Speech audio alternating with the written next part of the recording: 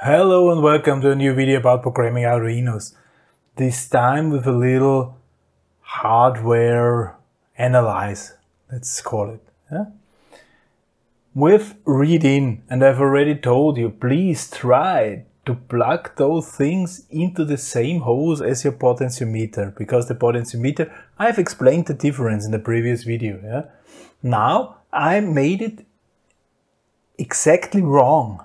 Okay, look at that. Yeah, I, I, I used the, the potentiometer and I used simply the cables located at the correct positions. Yeah, and now we will have a look what it means if we read in the analog value.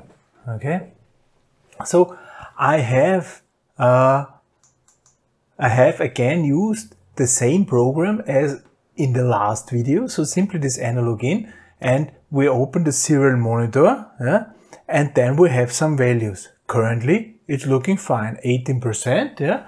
Now I try to, ooh, and you see, I touch it and we see somewhere 100% or I, I just touched it. I've never, here, this is some jiggly contact, right?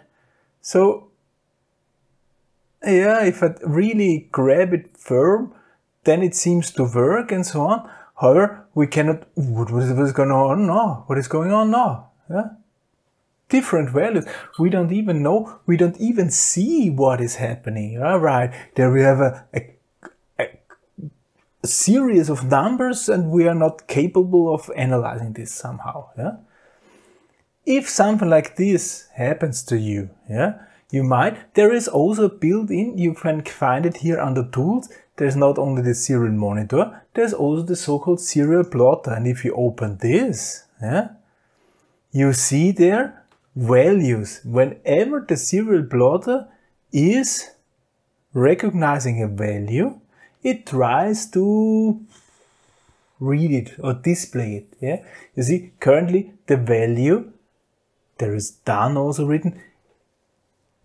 You have to keep a certain uh, a certain syntax in the in the serial monitor output. Yeah? You see, but you see, this is the value. So this is what we have seen. There is an interesting sine wave thing, and if I'm touching this, book, now it's stable. You see, if I can, if I'm changing this, what we currently see here now, this is now around 600. Now it's 600. This is the this is the uh, raw value.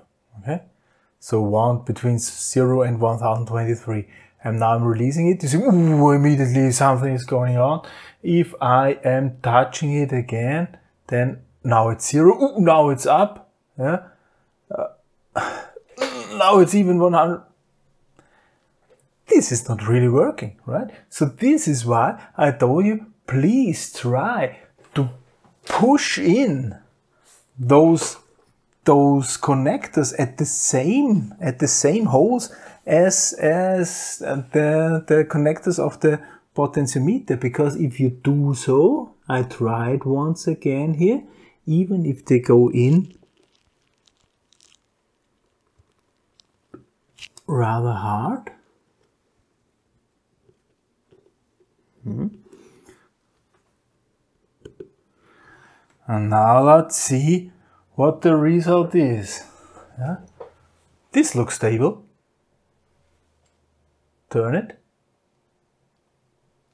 Huh?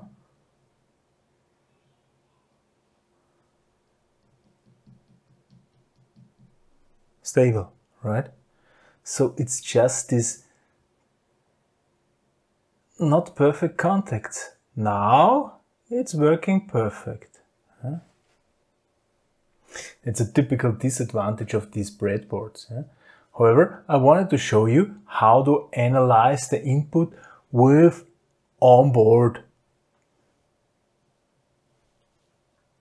software, yeah? tools. There are special tools out there where you can adjust a little bit more sophisticated and measure and so on.